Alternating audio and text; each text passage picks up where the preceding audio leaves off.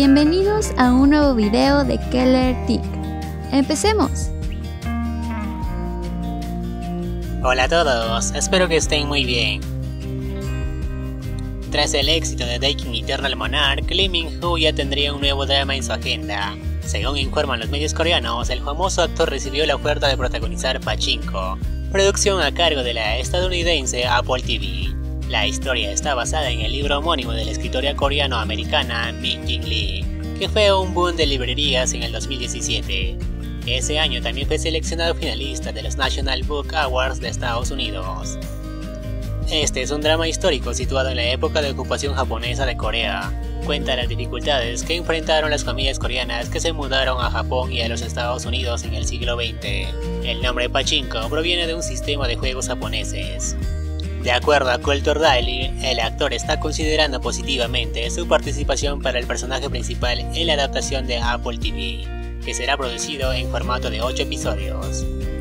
En redes sociales, los fans del actor esperan que acepte el papel, pues el libro es muy conocido en los Estados Unidos y sería una plataforma que incremente su estatus como representante del Hallyu. Lee Min-ho es el actor coreano con mayor cantidad de seguidores en Instagram, por lo que sus proyectos tienen atención asegurada de sus millones de fans alrededor del mundo. The Eternal Monarch, por ejemplo, fue uno de los dramas más populares de Netflix durante su emisión entre abril y junio del 2020. Para el momento es el primer coreano en llegar a los 20 millones de seguidores en Facebook e Instagram. En la descripción te dejo un video de cómo lo celebró. Les mantendré informado acerca de esta noticia. Para estar al tanto solo tienes que activar la campanita.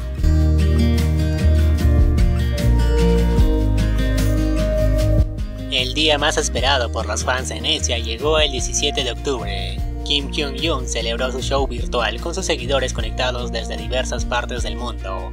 La emoción de volver a escuchar al líder del grupo de K-pop WS501 en su faceta solista se dejó sentir en las redes sociales. Kim Hyun-jung correspondió a tal afecto entregando lo mejor de su talento en el escenario. En el setlist se incluyeron canciones nuevas, las cuales son parte de su nuevo disco, que fue publicado el 19 de octubre del 2020. Pero esa no fue la única sorpresa comentada por sus fans. Kim Hyun-jung se presentó con su nuevo look que trajo recuerdos de cómo lucía en sus primeras eras de artista de K-pop y actor. El popular intérprete de Gillo en Voice Over Flowers volvió al tono rubio con flequillo y muleta en la parte posterior. Comparando su imagen actual con su apariencia de hace más de 11 años, no parece haber pasado el tiempo por el famoso cantante coreano. Los comentarios de sus fans replicaron estos halagos. Está hermoso, me recuerda a los tiempos con WS501. Ese es el look de ahora, se ve muy joven. Uno de los momentos más emotivos fue cuando el cantante leyó una carta que preparó para Enesia. El mensaje hizo referencia a las dificultades que todos están enfrentando debido a la pandemia y a la esperanza que desea compartir con su música. La carta dice esto. Hola Enesia, este es Kim Hyung-yoo. ¿Cómo estás? Solía ser un simple saludo, pero ahora se ha convertido en una pregunta literal sobre la salud de los demás.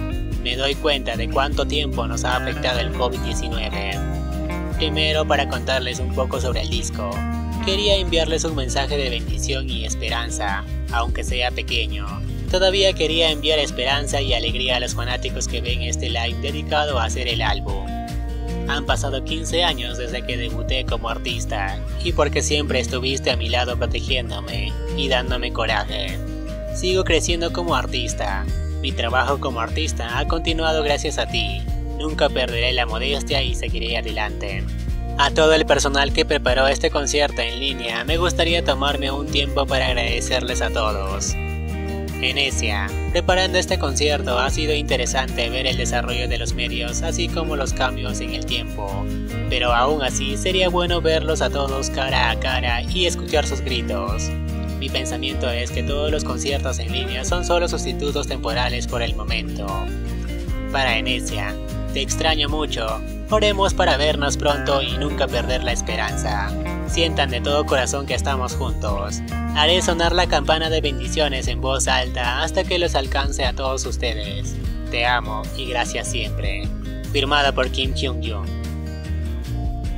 ¿Cuántos de ustedes pudieron ver el concierto virtual? Y esperemos que muy pronto vuelva nuevamente al mundo de los K-dramas. Sería genial verlo en la pantalla con algún nuevo proyecto.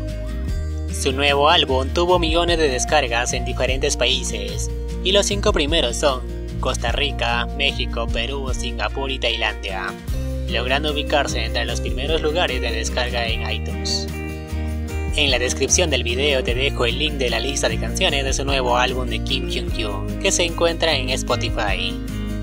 Espero que les haya gustado este video y si es así no se vayan sin darle una manito arriba. Cuídense mucho y sobre todo no dejen de sonreír, que eso es lo más importante. Esto fue Keller Dick.